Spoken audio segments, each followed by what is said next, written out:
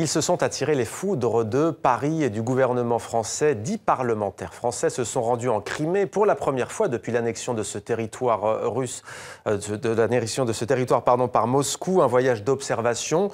Euh, donc décrié par le Quai d'Orsay, de retour de Sébastopol, Nicolas Duic s'explique sur notre plateau. Bonsoir, monsieur le député, merci, d'être avec nous. Vous êtes membre du Parti français d'opposition Les Républicains, membre également du dialogue franco-russe. Alors pourquoi est-ce que vous avez décidé décidez-vous de vous rendre en Crimée? Pour plusieurs raisons. La première, euh, il faut rappeler que les premières victimes des sanctions économiques euh, euh, qui portent sur la Fédération de Russie sont les entreprises françaises et l'agriculture française principalement. Deuxièmement, parce que les parlementaires d'un peuple libre sont libres, que la Fédération de Russie est un grand pays, que nous voulions voir par nos propres yeux sur le terrain ce qui se passait réellement.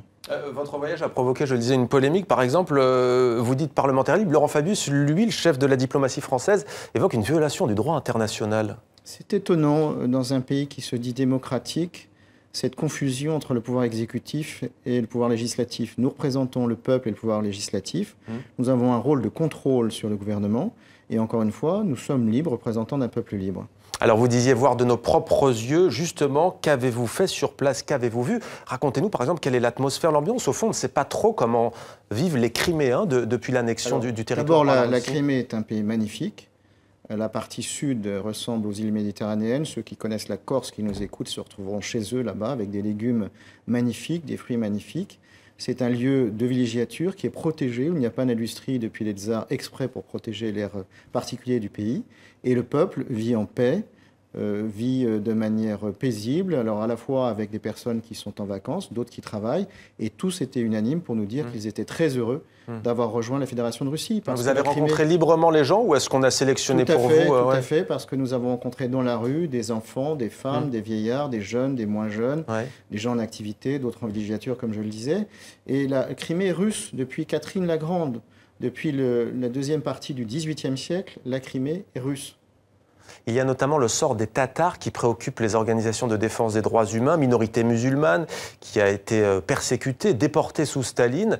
Est-ce que vous, parlementaires français, vous préoccupez du, sort de cette minorité? Alors, dans, la longue histoire, il faut quand même rappeler les choses. Hum. Je voudrais rappeler à nos auditeurs que la Russie nous a protégés trois fois elle nous a protégés évidemment pour la Deuxième Guerre mondiale. Elle nous a protégés en 1914 parce qu'il n'y aurait pas eu de victoire de la Marne si les troupes du tsar ne s'étaient pas sacrifiées à plusieurs reprises. Et elle nous a protégés au Moyen Âge contre les invasions mongoles qui ont tout envahi, tout rasé dans la plaine euh, eurasiatique. Même le Grand Saint-Louis s'inquiétait de l'arrivée des Mongols. Et donc les Tatars de Crimée étaient avant tout des populations mongoles qui se sont plus ou moins sédentarisées et qui faisaient des raids réguliers euh, auprès des populations avec un marché d'esclaves en Crimée. Puis la Crimée a été euh, russifiée et la population criméenne est passée ainsi de 60 à 600 000 habitants. Donc on est vraiment sur une terre profondément russe, russophile, et qui cohabitent avec trois langues officielles, l'ukrainien, le tatar et le russe. Et nous, nous avons rencontré euh, ces descendants euh, tatars qui nous invitaient d'ailleurs à leur grande assemblée générale samedi, mais comme nous repartions sur Moscou, nous n'avons pas pu assister. Nous avons promis de revenir l'année prochaine. Alors il y a donc, vous le savez, encore aujourd'hui un conflit dans ce qu'on appelle le Donbass, c'est-à-dire toute la région est de l'Ukraine, entre d'un côté les forces gouvernementales, plutôt pour schématiser pro-occidentales, et de l'autre côté des séparatistes plutôt proches de, Moscou. Euh, quoi que l'on en dise, hein, l'annexion de la Crimée, en tout cas son rattachement à la Russie, est très clivant, très contesté. Très sincèrement, qu'est-ce que ça apporte votre voyage à vous, parlementaire français, si ce n'est euh, d'apporter votre soutien et une caution au président russe Vladimir Poutine Alors d'abord, la décision qui a été prise du référendum où le peuple de Crimée a voté pour être attaché à la Fédération de Russie, c'est une décision de sagesse qui a évité un bain de sang et une guerre civile. Nous aurions une guerre civile et un bain de sang si cette décision n'avait pas été prise. C'est la première chose qu'il faut rappeler. La deuxième chose, c'est que les habitants d'Ukraine sont un peuple frère du peuple russe.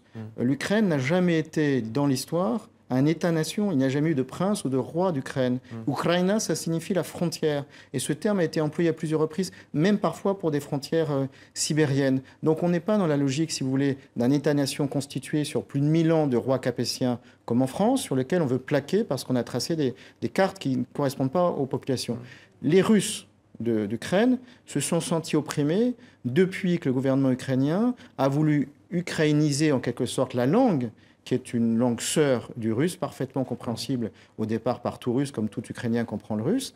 Et cette politique ultranationaliste a mené à interdire 15 chaînes russophiles au sein du territoire de l'Ukraine et à faire en sorte que l'Ukraine, le, russe, pardon, devienne une langue étrangère. pour vous, il n'y avait pas du tout d'aspiration. Pour vous, il n'y a pas du tout. En instant, il y a deux visions caricaturales. Autant certes de la part de certains chefs de diplomatie occidentaux qu'on a vu place Maïdan, mais pour vous, il n'y avait aucune aspiration à plus de liberté, moins de corruption, qui certes touche les deux bords ukrainiens. Il ne faut pas confondre l'aspiration du peuple ukrainien contre l'ancien président, auquel d'ailleurs le président Poutine refusait de serrer la main, il faut rappeler, et le véritable coup d'État qui a lieu à Maïdan, qui a mélangé des tas euh, de populations contradictoires. Vous avez vu à la fois des gens qui réellement voulaient avoir la paix et la liberté et qui en avaient assez de la corruption, et vous aviez d'autres personnes qui étaient manipulées avec l'influence probable d'autres services secrets étrangers sur Maïdan. Maïdan, c'est un vrai coup d'État qui a été suivi par une élection qui est une fausse élection. C'est comme si on élisait le président de la République sans que toute une partie des régions de France puisse voter. Alors, je vous propose d'écouter euh, ce que pense le président russe Vladimir Poutine euh, de la diplomatie française et européenne. Il s'exprimait ce week-end euh, dans un entretien diffusé hier soir chez notre partenaire suisse, la RTS. On écoute Vladimir Poutine et on se retrouve juste après. L'appartenance à toute alliance militaire et politique implique la perte consentie d'une part de sa souveraineté. Je pense qu'à l'époque, la France est sortie de l'OTAN pour préserver sa souveraineté davantage que ne le permettait le cadre d'une alliance militaire. Mais vous comprenez bien que si pour discuter des affaires avec nos partenaires européens, nous devons aller à Washington, c'est quand même un peu curieux. Député Les Républicains avec nous, Nicolas Duic. Euh, pour rappel, c'est euh, un certain Nicolas Sarkozy qui a réintégré la France dans le commandement militaire de, l'OTAN. Euh. Très brièvement, pour rappeler l'histoire, la France n'est jamais sortie de l'OTAN. Elle est sortie des instances intégrées de l'OTAN, ouais, du commandement pour avoir la dissuasion nucléaire et mmh. pour maintenir une industrie de défense. Parce que si la France était restée au sein de l'OTAN, nous n'aurions plus aujourd'hui d'industrie de défense mmh. souveraine. Mais vous n'êtes pas d'accord avec le président russe qui dit qu'on perd forcément de la souveraineté quand on intègre ces... A parfaitement raison, parce qu'à partir du moment où cette alliance qui a été faite pour contrer le pacte de Varsovie, à partir du moment où il n'y a plus de menaces sur l'Europe de, l'Ouest, cette alliance se cherche et n'a plus de raison d'être. Mmh. Et effectivement, on peut s'interroger sur l'indépendance de l'Union européenne par rapport à Washington, euh, dans ses décisions, parce que nous sommes aujourd'hui les idiots utiles de Washington. Le plan qui consiste à arracher l'Ukraine de l'Empire russe était déjà le plan des empires centraux allemands et austro-hongrois pendant la Première Guerre mondiale. Il faut s'en souvenir. On rejoue exactement la même partie. Et Zbigniew Brzezinski, qui est l'auteur de la diplomatie américaine qui se déroule, quel que soit le président euh, américain, mhm. écrivait la même chose. Pour que la Russie ne redevienne pas une puissance, n'ait pas le droit de revenir dans l'histoire, il faut lui arracher l'Ukraine. Donc il faut faire entrer l'Ukraine dans l'Union européenne et surtout dans l'OTAN. Comment voulez-vous que la Russie euh, réagisse à ce type de provocation? Au moment même où nous avons plutôt ensemble mhm. à mener une lutte contre l'État islamique. Alors justement, justement, ça c'est la géopolitique, c'est du concret, on a compris. Mais euh, que faire concrètement pour sortir de ce cercle infernal? On le voit dans les journaux TV5 Monde, des civils souffrent dans cette région de, l'Est de l'Ukraine. Quelle est selon vous la priorité? La priorité, c'est d'abord d'arrêter l'irrationnel. La priorité, c'est de comprendre l'histoire, c'est de comprendre que euh, les Ukrainiens sont un peuple frère du peuple russe, qu'ils sont liés, que l'Ukraine est une zone qui a toujours été une zone tampon, euh, que c'est un pays qui aspire à vivre en paix et qu'il faut que le gouvernement ukrainien. Une fédéralisation, vous, voulez dire Probablement une fédéralisation, parce que hmm. c'est un, un État qui n'a jamais existé dans l'histoire, sauf une période très brève sous la guerre civile et très violente très violente contre les Polonais à certains moments, il faut le rappeler, et avec en partie des personnes qui sont aujourd'hui en action, qui reprennent les, théories nazies. Euh, on, reprend la même logique. Et ce qui m'effraie, alors que la Russie fait partie de l'Europe intégrante et qu'il faut une grande fédération pour faire une, grande Europe, pour que l'Europe puisse peser dans le monde, eh bien j'entends une rhétorique qui ressemble quelque part à une rhétorique presque de la Deuxième Guerre mondiale, comme quoi la Russie serait un objet étrange, inquiétant, menaçant. Non, les Russes sont des Européens comme nous.